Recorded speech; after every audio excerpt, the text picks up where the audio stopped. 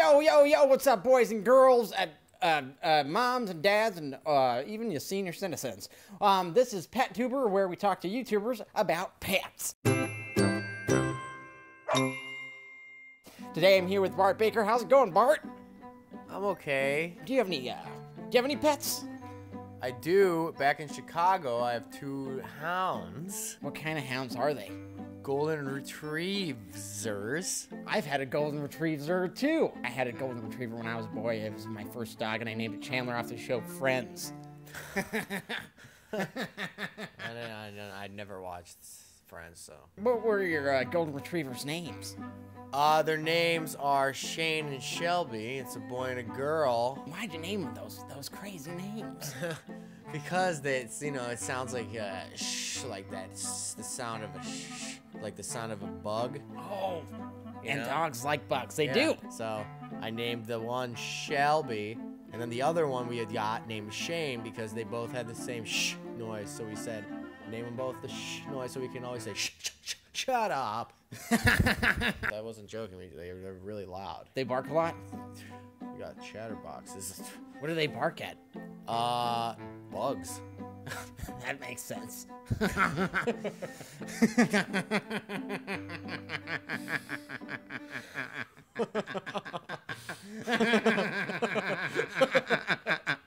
so, so what? Are, what? Are, what's your favorite thing, or what, what's the story about these these dogs? Um, let's see, let's see. Shelby's weird. She sleeps in my bathtub every night, so I go to the upstairs, I try to take the bath, and what I see in there, a big old hound in the tub. That's so strange. She won't sleep on the bed, she won't sleep anywhere else. She's in the tub all day, clawing her paws against the tub, waking everyone up. So now we're gonna do this thing where it's a it's a, it's a sort of a role playing game, and um, I'm going to be uh, one of your dogs, and then uh, you would you would sort of treat me how you would treat your your dog. Okay.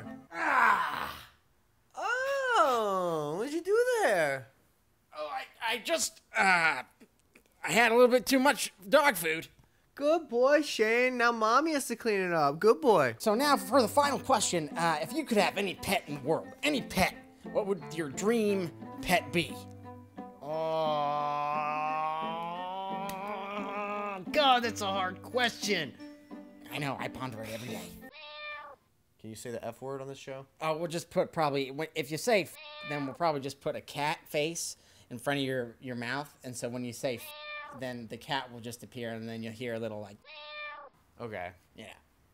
Probably want a fing pigeon. Pigeons are cool. Yeah, because that way I could feed it to my next door neighbor's cat. My next door neighbor's cat's name is Charlene, and she is very fat. And that's a shh. That's another shh. Yeah. Yeah. Isn't that weird? That's a strange thing. But the only reason I would get that little pigeon is to feed it to Charlene, because that cat's always looking for food in my basement. Bad Charlene. Cats are crazy. Yeah.